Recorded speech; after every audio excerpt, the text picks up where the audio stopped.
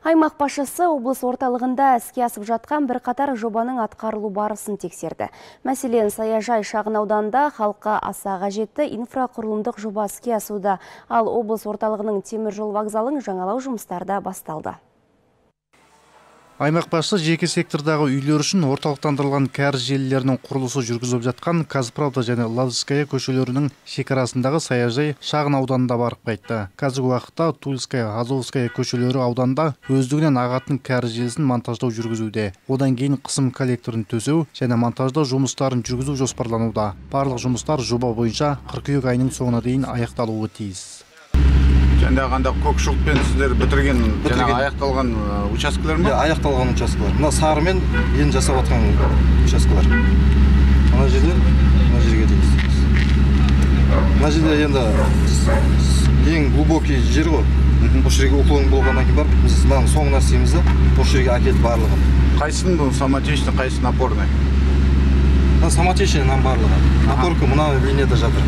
Қызылмен қызылмен жатқан ба? Иә осыдан мына неге казправдаға дейін барады. Бұл жобаның тиімділігі неде кәріз желісі аяқталып қолданысқа берілген соң жеке сектор тұрғындары септиктерді тазарту үшін ассенизатор көліктерінің шақырып отбасылық бюджеттен қаражат жұмсамайтын болады. Бұл әсіресе зейнеткерлер мен аз қамтылған азаматтардың қалтасына ауырлық келтіретін жағдай еді.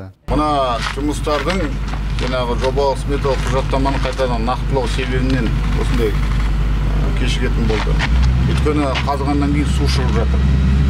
А су жоба бойынша су болмау керек еді. Су өте жақын екен. А су болса оны жаңағы құбырларды салуға болмайды. Ол үшін анау арнайы техника мамандырылған техника алынды. Водопонижение жасайтын. Енді оны бұны қазбай істейміз деп басқа амалын тауып жобалық сметалық құжаттаманы өзгерістер енгізілді.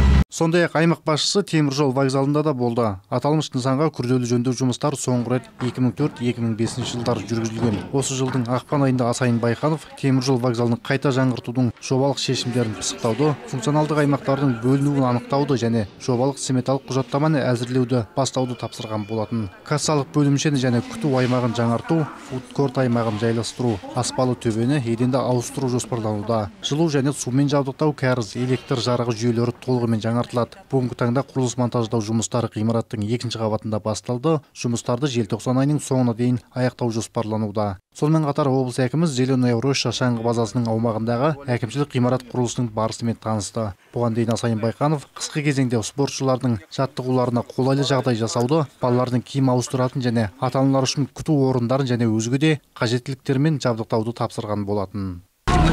Зал тренажерный зал. Бірінші қабатты гимнастика және жаттығу залы ерлер мен әйелдерге арналған душ кабинасы және санузел болады. Сонымен қатар биатлон және шаңғы секциялары киім ауыстыратын бөлмелер де қамтылған. Две раздевалки тренерская. Бүгінгі таңда бұнда құрылыс алаңын дайындау іргетас құю жұмыстары басталды. Содан кейін сэндвич панельдерінен құрылымды тұрғызу және аумақты абаттандыру жоспарлануда. Жанасыл серікбол ертіс ақпарат.